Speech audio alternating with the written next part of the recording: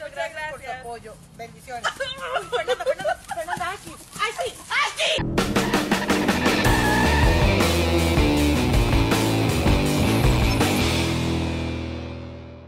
Muy buenos días, tardes o noches, caballeros.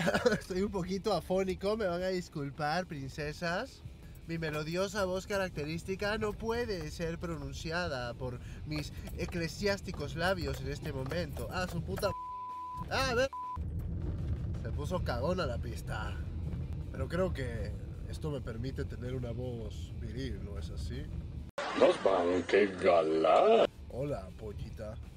Oh, miren, ese Suzuki Expresso ha decidido quedar separado a la mitad de la pista. Se movió finalmente. Macho. Sean bienvenidos a este su espacio para toda la familia, conducido por mí, su buen amigo y vecino José Miguel Calderón, también conocido como el dios de los autos. Me acabo de dar cuenta que hoy me he disfrazado de comunista promedio.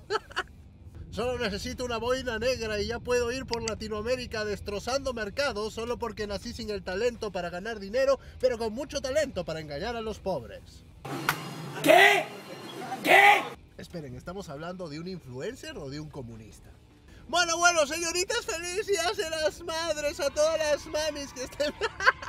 sí, obviamente hay 400 millones de madres viendo este video, ¿no es así? Creo que mi audiencia está compuesta por 98% hombres, 1% simios y posiblemente 1% hombres que dicen ser mujeres solo para que los metan presos y poder tener contacto físico con mujeres. Oye, eso está re loco, ¿no? Ya no tienes que pagar por puta. Ahora solamente tienes que ser ladrón y decir que eres mujer. Eso es parte de crecer, Timmy. Eh, señor, ¿qué hacía robando en esa vivienda? No, nada, solo me quería ir de putas, jefe. bueno, bueno, bueno. Vamos a calmarnos, chavales, porque hoy es el día de las mamis, así que vamos a tratar de hacer un video apto para toda la familia, ¿ok? Después de todo, muchos de ustedes, los que están viendo este video, son menores de edad, con oídos virginales posiblemente, que nunca jamás en la vida siquiera han pensado en ver a una mujer con ojos que no sean de amistad y empatía. Bueno, chavales, ya que es el día de las mamis, hablemos de las mamis de la industria automotriz, ¿ok? Y es que existen muchísimos grupos automotrices en este momento, ¿no? Y aparece un matriarcado la industria automotriz en donde todos son hijos de alguien. Pero existen unas cuantas mamis, ¿no es así? Hablemos de ellas hoy y vamos a aclarar un poquito como para que te quede bien claro, ¿no? ¿Quiénes son hijos de quiénes y qué puedes esperar de quiénes por los padres que tienen? ¡Ay, qué bonito! Va a ser un video muy educativo. Así que en este momento, sábado a las seis y media de la tarde, cuando recién me estoy dirigiendo a comprarle un regalo a mi esposa y a mi madre. Aprovechemos el tiempo, chavales, para darle una noche divertida al editor, que no creo que mañana domingo quiera estar editando mis estupideces. Nadie se ha preocupado tanto por mí. Bueno, primero hablemos de General Motors Company, princesas. General Motors es una de las mamis más acaparadoras de la industria automotriz, ¿no es así? Ellos tienen como a hijos a su hijo mayor y más querido, al engreído de la casa, a Chevrolet.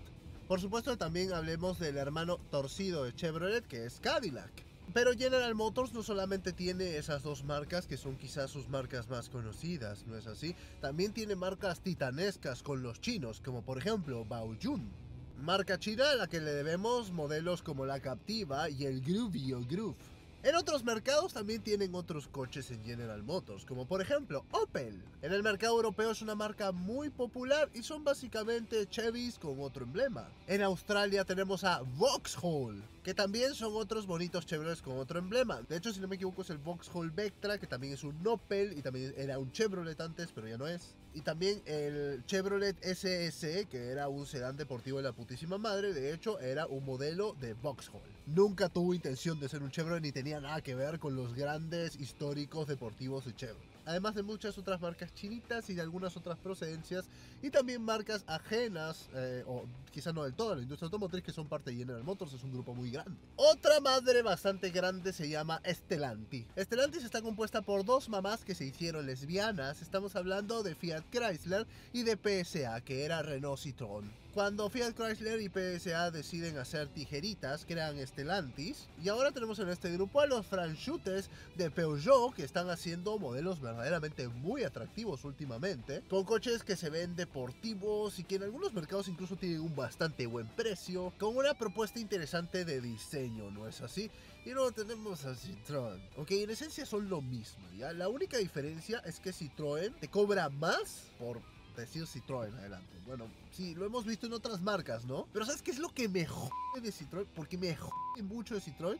Es que Citroën se hace la de auto premium, auto de lujo todo el tiempo.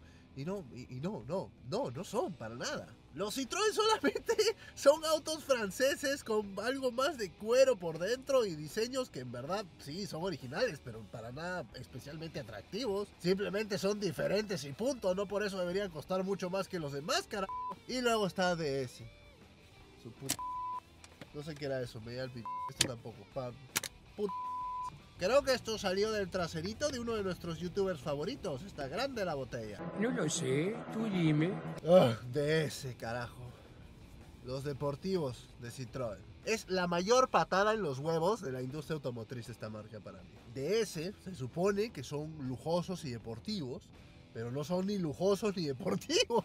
No tienen nada que hacer contra un alemán de lujo como un BMW, un Mercedes, un Audi en cuanto a lujo. Y tampoco tienen nada que hacer con fiabilidad contra un japonés de lujo como un Acura o como un Lexus. Y ni hablar de la performance. No se me ocurre un solo auto de lujo que sea tan lento como un DS. Al final del día tienen los mismos motores de que pone Peugeot y Citroën debajo del capó de sus coches desde el 1984 o algo por el estilo. Ese 1.6 turbo está más recorrido que tu hermana. ¡Un demonio! ¡Lo que faltaba! Bueno, y la cosa es que son más caros por eso, ¿no? Sí, me imagino que tienen algunas pantallas, sí. Las pantallas coreanas ahora son muy caras. Claro que sí.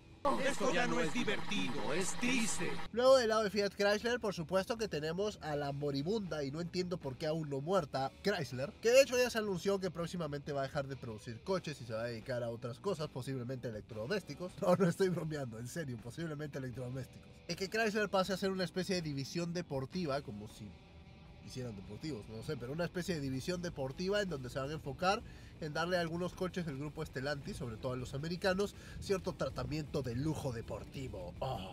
Luego tenemos a Fiat. Ah, Fiat, ¿quién puede odiarlos? ¿No es así? Sí, son la cosa menos fiable de la historia de la humanidad. No sirven para nada, bajo mi punto de vista. Sinceramente, en mi opinión, son una buena mierda. Pero son bonitos, pequeños y gorditos. Bonitos y gorditos, muchachos. Son como los Schnauzer, ¿no? Pequeños, peluditos, bonitos, pero son unos hijos de puta que dan ganas de romperles el cuello a los cabrones, nunca paran de ladrar. Algo así es Fiat para mí. Muy, muy bonitos, pero ni cagando compraría uno. Piensa, pechato, piensa. Estudia, Sonso. Luego tenemos a los grandes monstruos de Stellantis, ¿no es así? Hablemos de Jeep. Jeep, la marca americana de los Macho Power, que nos van a poner mamavans muy Macho Power en el garage. Bueno, con Jeep ya sabemos que tenemos los 4x4 por excelencia, que en Latinoamérica son vistos como premium por algún motivo, cuando en el resto del mundo no lo son. En algunos mercados latinoamericanos, chavales, comprar Jeep no es una buena idea, no porque sea un mal carro, sino porque el respaldo de refacciones y de mecánicos disponibles no es suficiente. Aunque sí suelen tener algunos problemas de transmisión bastante conocidos, ¿no es así? Y luego tenemos a Dacia. Dodge, la marca de los machos, la marca con bigote, la marca que tiene el pit de 3 metros y lo saca, lo pone sobre la mesa y le dice, pártela. ¿Hay algo que este joven no haga bien? Bueno, ¿qué les puedo decir sobre Dodge? No es así, es el hijo rebelde que ninguna madre quiere tener, pero que todo padre quiere tener. Macho de pecho peludo que dice, hey mujer, luego de lavarte la boca con mis manos. Quiero la cena y mi ropa planchada. Esos Dodge que sí, últimamente con el tema de la electrificación han estado cayendo un poquito, un poquito ligeramente mucho en la homosexualidad. Pero esperemos que pronto retomen el camino de la luz y dejen de hacer estupideces como ponerle parlantes que suenen como V8 a autos que no son V8 porque son eléctricos. ca- Y muchas otras marcas como Maserati, como Ferrari, a pesar de que Ferrari dice que no es, pero la verdad es que todos sabemos que sí es. Y unas 454 mil más. El grupo BMP, el grupo BMW, que está compuesto por tres marcas: BMW, Mini Cooper y Rolls Royce. BMW, wow. Qué marca, ¿no? Qué marca, qué legado, qué historia, cara. Una de mis marcas favoritas, de, de toda la vida. De toda la vida BMW ha sido una de las marcas favoritas de José Miguel Calderón. Me encanta cómo hacen las cosas, cómo hacían las cosas antes, obviamente mucho más. Actualmente no me fascina. No me gusta tanto, sinceramente. Es que, ¿saben qué no me gusta de BMW? Es que siento que ha perdido mucho su esencia. Entiendo que, que en pro de buscar mejores ventas, ¿no? Ir a públicos más amplios han decidido dejar atrás a los entusiastas de los deportivos para meterse con los entusiastas de mírenme, tengo plata y pongo Calvin Klein gigante en mis calzoncillos y en mi playera. Lamentablemente ese ha sido el camino que ha decidido BMW. eh, y bueno, al final del día todo el mundo busca hacer más plata, ¿no? Así que hasta cierto punto lo entiendo. Pero no por eso voy a decir que sus coches actualmente me parezcan de putísima. Que no me parecen de putísima. Eso no me lo esperaba. Odio lo que hicieron con el Serie 1, detesto lo que hicieron con el M3 de quitarle completamente el protagonismo para dárselo a un chico nuevo, el M4, y más aún detesto lo que hicieron con el frontal de ese coche. Y ya ni hablar de lo que hacen con la comunicación de la marca, la publicidad, la, la ideología de género y de que en su publicidad ponen tipos abiertamente gays al volante de M3 y M4. Ajá.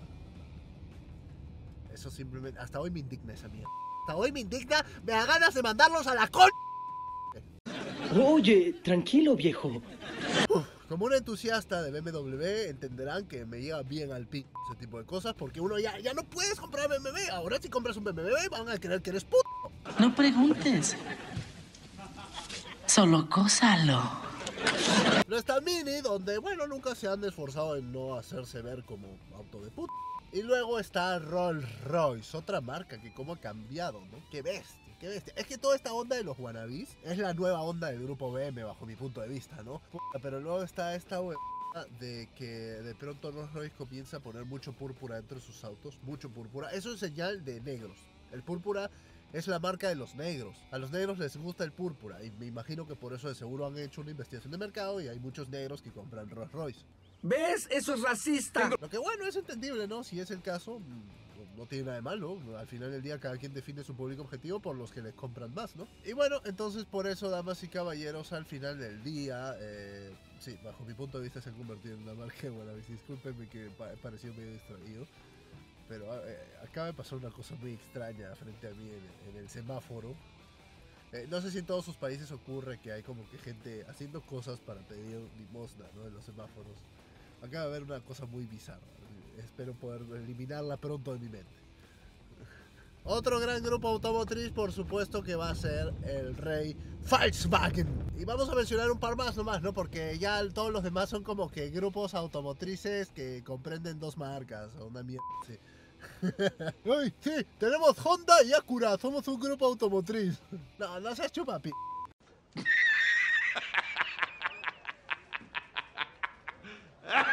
Bueno, en grupo Volkswagen nos vamos a encontrar Volkswagen, Seat, eh, Skoda, Cupra, Audi y todo lo previamente mencionado es la misma mierda con diferentes emblemas. Así que no vale la pena ni siquiera ahondar en sus diferencias porque no las hay, todos son lo mismo. Cambian el emblema y la etiqueta de precio. Listo, eso es la diferencia de un Volkswagen, de un Skoda, de un Audi, de un Cupra, de un Seat. La diferencia la vas a encontrar más arribita en Porsche, por supuesto que en Bentley, eh, no, la verdad que no, Bentley y Porsche son la misma mierda también. La única diferencia es que unos tienen dos asientos y los otros cuatro.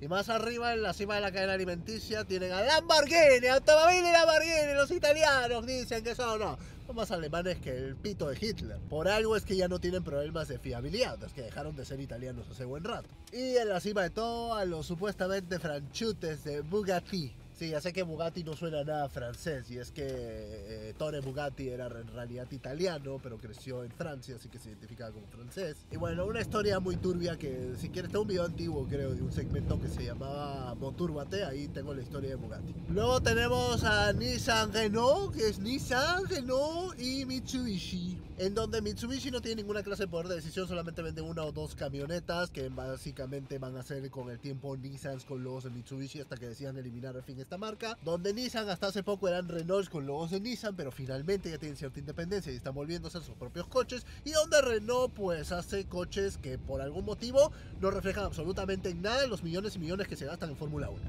¿Coincidencia? ¡No lo creo! Ah, y también tienen Alpine, ¿no? Ahora sí, claro. Ahí, ahí, se supone que está. Y ponen motorcitos de mierda chiquititos. Y por último, pero no menos importante, el rey Toyota. El rey Toyota tiene Toyota, Daihatsu, Hino, Lexus. Todos siendo Toyotas de diferentes categorías de precio. Para mí, la forma más inteligente de hacer un grupo automotriz. Más baratos, más comerciales, más generalistas, más premium. Listo, pero todos son la misma mierda.